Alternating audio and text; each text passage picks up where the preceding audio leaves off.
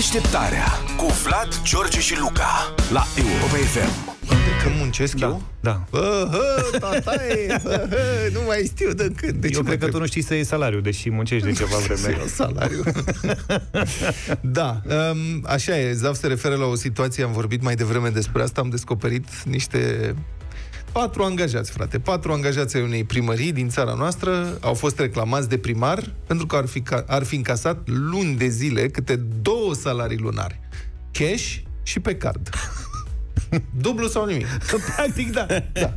Bani, Mai, de, mai degrabă dublu. unui cash-ul, altul cardul. Corect? Ați văzut, ne-au explicat și domnul Tudose și domnul Ciolacu, căruia e sau una e cardul e cardul, pe care ținem banii, un niște bani, dar cash-ul e cash. Adică piept. nu încurcăm lucrurile. Nu, dar de-aia se feresc oamenii.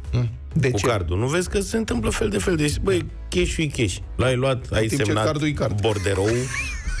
da? da? Păi da, dar la card nu semnezi nimic. Așa Aici se vede. Uite, domne, a semnat borderou Ce? și a încasat tovarășul sa Simbria. Iată.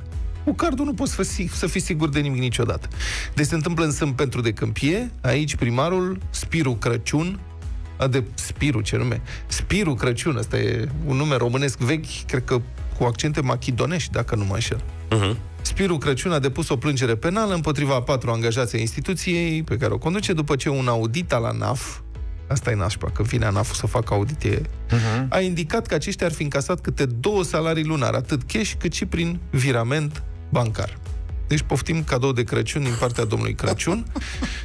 Pe de altă parte, te întrebi, oare ce se întâmplă în primăriile astea dacă oamenii încasează luni de zile câte două salarii, patru dintre ei, mă rog, câți pot să fie angajați în Atâta Sânt- s-a putut. Sunt Da. Petru de Câmpie, da. Atât au intrat. Luni de zile. Contabilitatea ce face acolo?